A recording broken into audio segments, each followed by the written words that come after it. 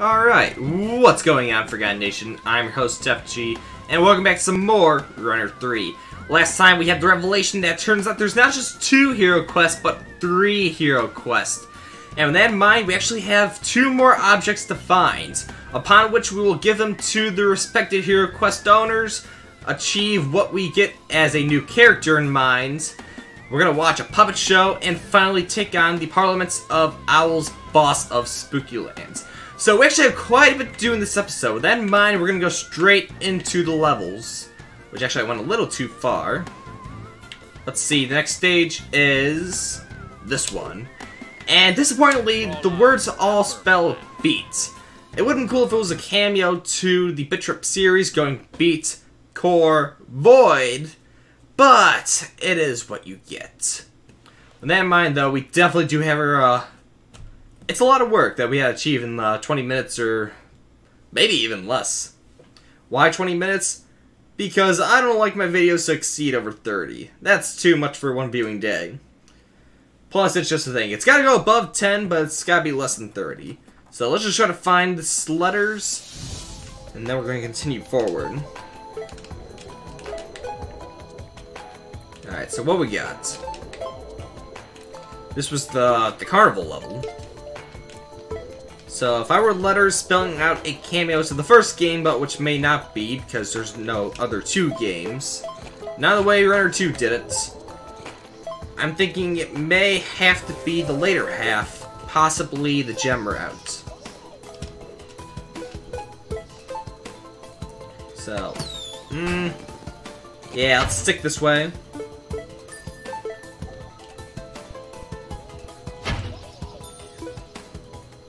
Alright, nothing too bad. Schlurt's can.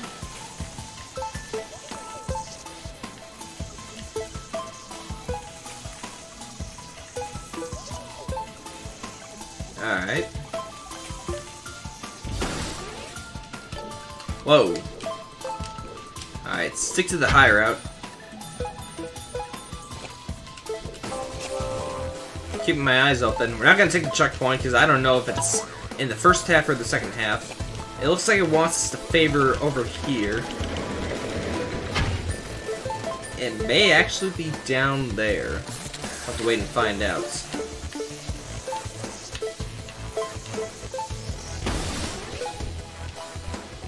Uh, let's stick to this route. Oh, that was scary.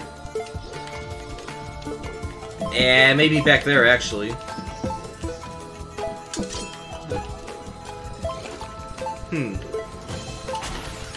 Oh, wait, there was something down there. Okay, there was something down there, so it's definitely the gold route, but it was down low. So we have to intercept that route. See, I wish it was a little more obvious when you could know when to switch routes. It doesn't really tell you when to switch. And then when you're going for the gold or the gems, it makes you switch automatically. So it kind of destroys the whole purpose of trying to find these extra little areas especially when the game design doesn't really point out where it's happening. So it's just a, a furthering nitpick that kind of drives the experience to anger and frustration. Why go for the collectibles if the game doesn't tell you how to get the collectibles? Right, so I think we know where it is now, we just gotta be able to get it.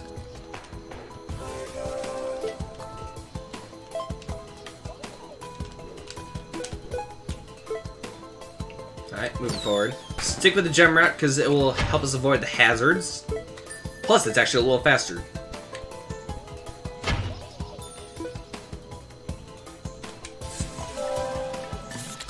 Alright, Schwartz can.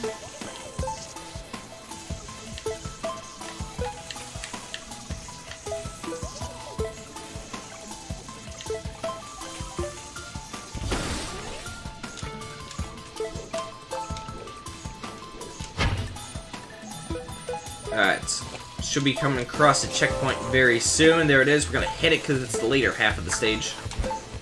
And we want to make sure we stick to the gold route. We got to find a way to get... Oh, yeah, it's right there. Beats! It's even got the same colors of the Bit Trip Runner series uh, cape. Alright, so wait for it.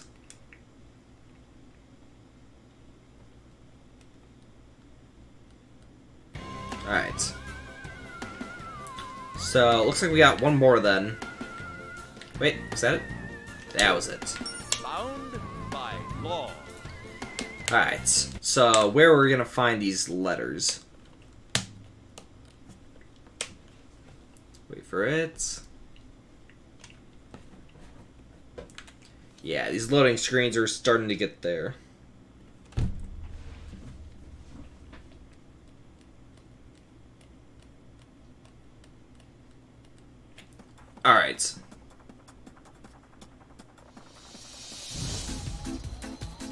Uh, collectibles, I want to assume is...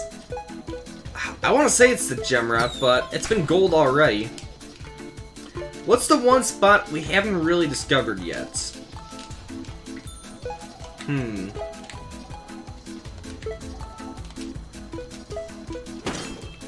Slide right under. Kick him down. I feel like it's gonna be gold. Hmm. Because up there was the puppet, so therefore...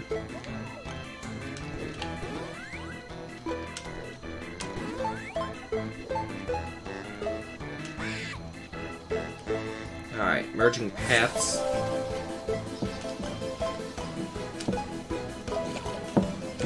Hmm. Alright, don't hit the checkpoint just yet. Whoa, forgot about Uh, stick this way.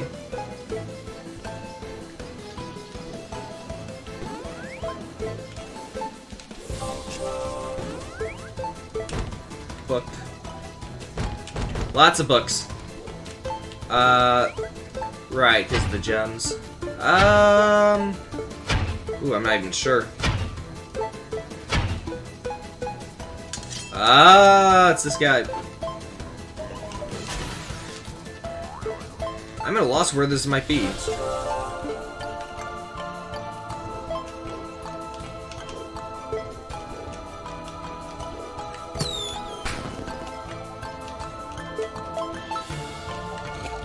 Where is the beat? Oh no! Okay, okay, we're gonna take the other route this time, but I'm not seeing it just yet. So where could it be? Okay, I still can't get enough of this bookworm demon. It's just so weird.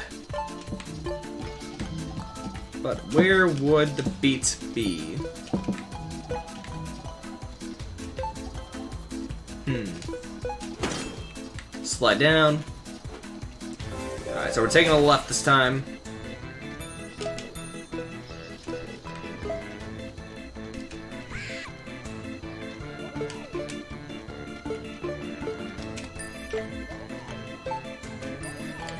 Because that's where the puppet was. So stay low.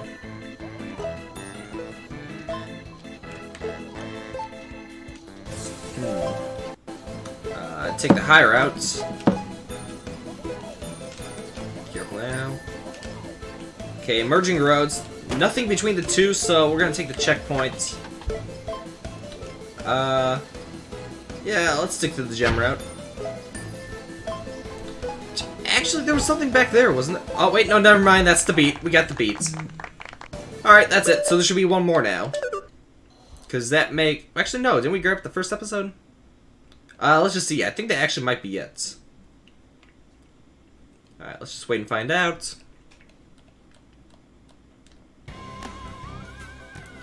Because that means eight. No, that really is it. So, with that in mind, now we can finally cash in the collectibles and get some new characters. So let's start with Beck Hazelman's, because we gotta talk back to the wolf again. We're gonna take the gold route, because it's just after the checkpoint.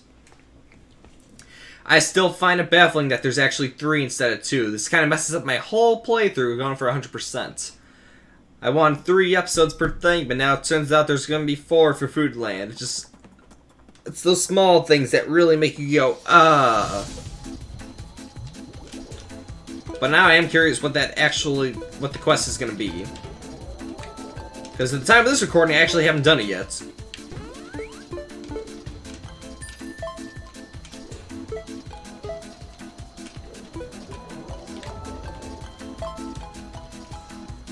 Alright, just gotta make it to the end. That's all it takes.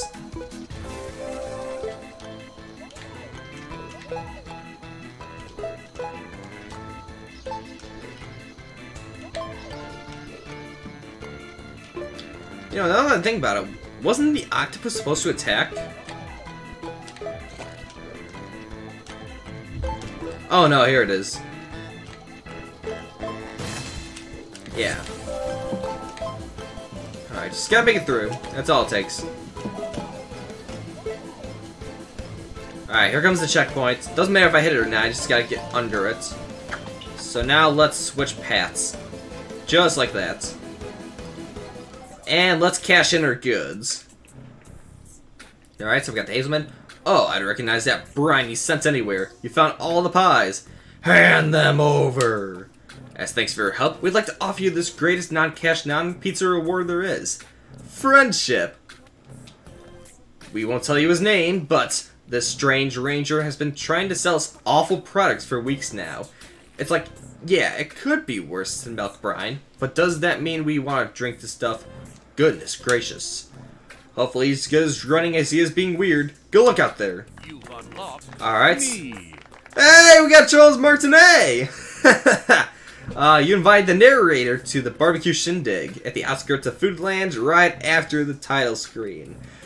Alright, I wasn't expecting him to be unlocked here. I thought it was going to be Machine Land or something, but that's actually pretty fun. So, we got Charles Martinet. It's one of the weirdest things that... This is the man that voices Mario, by the way. But it's so strange to be able to play as him in a game. You'd never think to play as the narrator. But then mind, that's one of the quests, so let's continue forward. Next we have the... Dull Hollow. Yeah, the dolls. So this is essentially just part of the gem route, so we just gotta stick with the stage. Once it loads, of course. Stretch my arms. Alright, here comes. Three, two, one, let's go.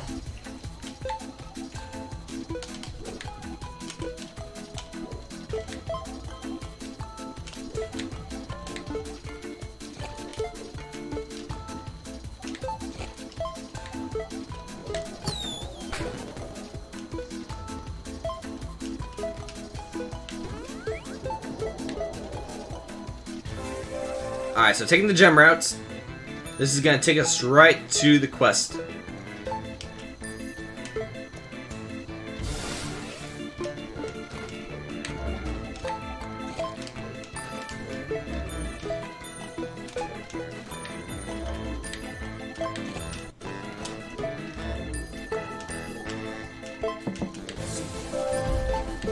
Alright, we're doing it. Keep going.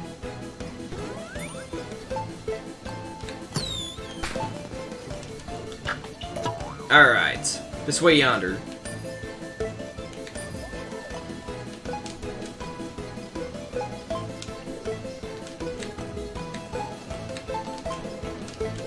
Slide under. And here he comes. The Hero Quest Baby. Just as terrifying as ever. The deed is done, isn't it? My pal Zimbob just got asked if I wanted to get lox milkshakes with him. And this is after years of telling him he couldn't drink them because he was allergic to fish. Thank you so much for helping me. I'm a doll of my word, which is why I wrote this really great reference when my pal Frankenstein asked about you. He says he needs to train for something called the Schlurz Run, and wanted to know if he could join you. What do you think? Well, I'll leave you two to work out the details. Good luck out there. The Timbletot has no idea what's coming for him. An abomination! We finally got Frank... Frankenstein. Oh, I didn't know Charles Martinet said it. But anyways, we got Frankenstein. This is probably one of the creepier uh, characters to come out of Runner 3, if I'm being honest. But we invite him to the barbecue shindig, whether we like it or not. So let's continue forward, because that's it for this stage. We finally have our new friends. And now we take the third and unexpected hero... Uh, the hero path, anyways. I still am baffled. There's three. I mean, it makes sense. This is Runner 3 after all. Three's plastered everywhere, but it just seems so un... You'd never guess that there's a quest. Especially when some of these are so well hidden. Alright, so let's just keep going. And I've realized with my watermark, you actually don't see the loading screen on the bottom, which is really just Commander Video in his Hanna-Barbera style, just running. It's a nice little jogging animation, but I never actually considered looking at the video feed itself to see that my, uh, my thing is hiding it behind. So I apologize for that, but don't worry, you'll get to see plenty of him when it comes to the uh, retro stages. Alright, so we just gotta get to the checkpoint and then switch lanes. Which I wish would be a little more predictable. Again, it's kind of like driving a car. You don't just drive down a road, you see signs. Signs that tell you where to go. So shouldn't there be the same thing here to tell me where to go for these different paths? I don't know. It could be just me nitpicking, but I feel like it should be a little more obvious where these hero routes take place. Especially when it's so uncanny as to where they are to begin with. Because the map screen really doesn't do much justice where these guys are. Especially when the one guy from Foodland looks like Hello Neighbors, just shoving his face deep full of shit. Not actual shit, I'm just talking about food, of course. Alright, so now we gotta cross into the middle lane.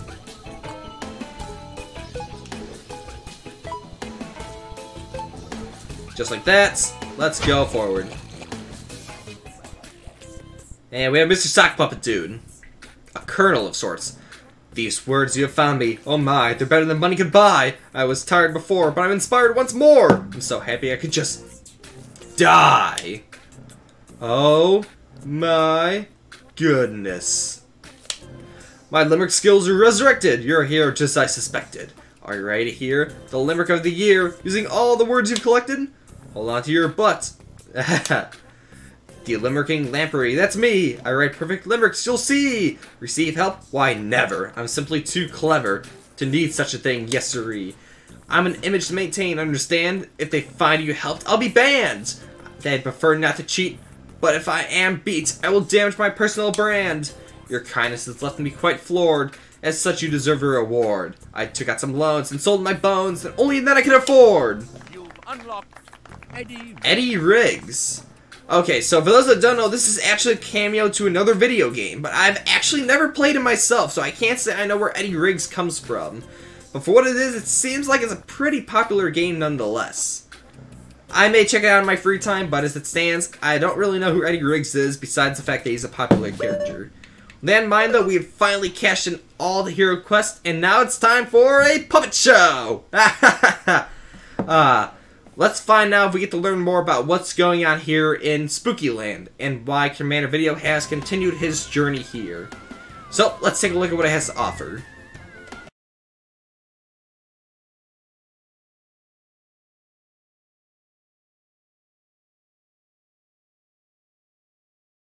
Sometimes, when the weather conditions are just right, you can see Glorns towering above the Spookyland sign. He's been there as long as anyone can remember, coming down but once a year to partake in the only holiday celebrated in Spookyland, Arbor Day.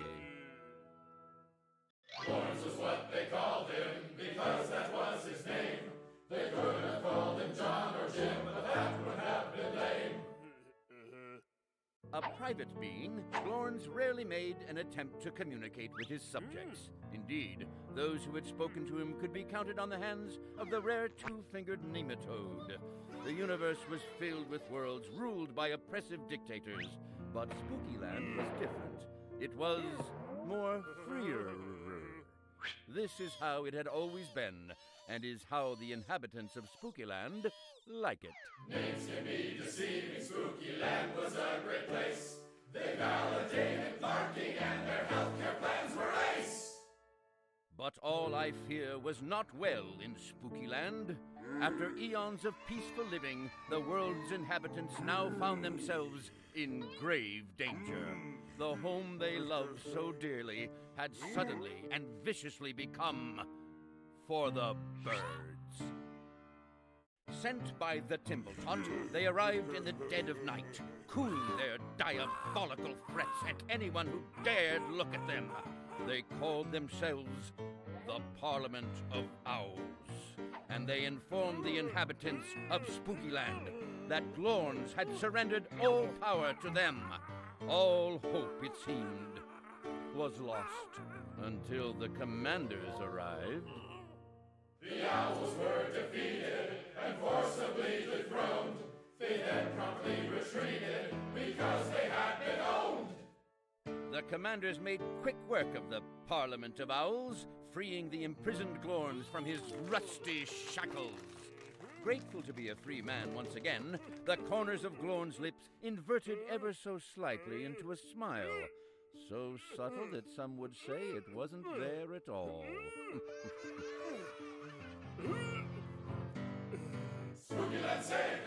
The day, so now we bid adieu.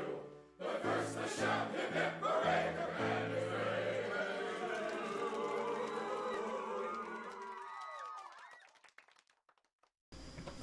Alright, that was interesting to say the least. It almost felt kind of pointless, though. I mean, sure, it sticks to the idea that we go to each island, we stop Timbletot, and that's that, but... I don't know how I felt about that one. And then there was the singing again. It made sense for uh, Foodland, but I don't know what to describe it. I guess it's like a German thing. Uh, I can't think of the words for it, but it made sense there to have him sing, but to sing here again felt out of place. I don't know how I felt that one. That was a mixed bag, to be honest. It was kind of... It didn't really add much to it. It just felt like, okay, Timbletot's there, here comes Commander Video, that's the end of that. I... I don't know. Maybe it's because Cheeseburger wasn't there, but... I don't know. This just felt like a side story as it should be. And in some ways, I guess there is nothing wrong with that. The whole game itself is a side story. It's canon, but it's not canon. It doesn't really happen, but it's still there. I don't know what to think about it, but for what it is, that was that. With that in mind, we're finally ready for the boss fight. We have the... Parliament of Owls. So if I had to take it, this is definitely a boss fight that takes place in the courtroom, so we have to watch out for their giant mallets that we saw in the trailer. But how to actually kill these things? I don't know. Let's find out. Three, two, one. The fat The fat lords. Oh. Hmm. Okay, so the mallet doesn't look like it's actually killing me, but obstructing my view, maybe? Or it's causing stuff to spawn. Oh no, it's... Okay, so it's after a set piece, I guess. So really, we just gotta avoid what's coming in front of us. Okay, so it feels like a classic Bit-Trip boss. Okay, and then we get the sign, so therefore we have to kick this next mallet. We just gotta get close enough. Yeah, there we go. That wasn't too bad. Uh, that's where it's going. This feels like it's gonna be a pretty short boss, actually. Okay, so don't jump on that one, but we can't smash it either. So how to get past it, then? We have to jump over it? Ah, I was distracted. Alright. So it's how to get past this last mallet. Okay, that's a scary bird. They always said to be afraid of the law. Uh...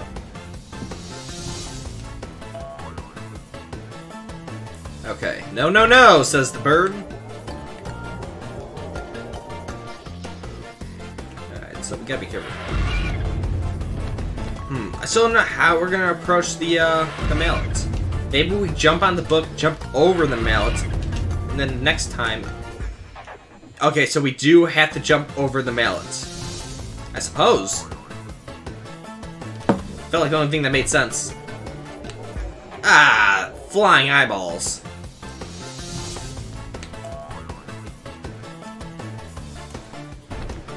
Alright, so we gotta watch out.